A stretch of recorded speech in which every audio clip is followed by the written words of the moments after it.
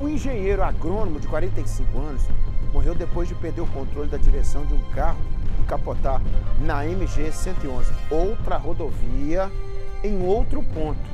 É, o acidente foi registrado na tarde deste domingo na cidade de Alto Jequitibá. O Roberto Tomás está chegando com detalhes. É, Tomás, a gente já passou uma sequência aqui de acidentes, né? Você vai contar de mais um que foi no Alto Jequitibá. Boa tarde para você, amigo. Bom feriado. Oi, Nico. Boa tarde para você. Boa tarde a todos que acompanham o Balanço Geral desse feriado de primeiro é, de maio, Dia do Trabalhador, mas infelizmente, Nico, a situação é recorrente nas rodovias do leste do estado.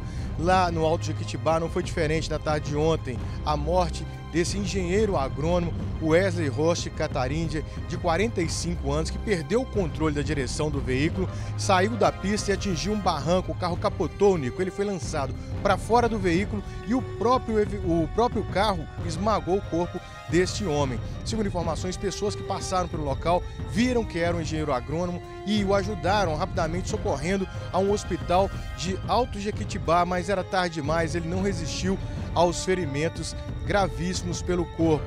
Segundo informações, a, ele atendia a prefeitura de Caparaó, que emitiu, Nico, uma nota de pesar e também para os familiares de Wesley. A população e a nota diz o seguinte: é, decretou o luto oficial pela partida do Wesley. A administração municipal é, de Caparaó prestou a solidariedade à família e amigos e também que falou que o Wesley era um ótimo funcionário e extensionista da Emater em Caparaó e trabalhava sempre em prol da evolução genética de gado, também de terra e dava assistência a vários fazendeiros em toda a região de Caparaó. Uma pessoa muito querida e os nossos sentimentos aí nessa trágica partida que foi esse acidente na MG 111 lá em Alto Caparaó na tarde de ontem, tarde de domingo, 30 de, de abril, virando aí né, para 1 de maio, Nicomedes.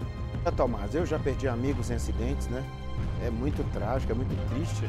É exemplo que a gente contou aqui sobre o acidente de Manhuaçu, mais uma perda importante né? de pessoas que eram bem conhecidas na região, né?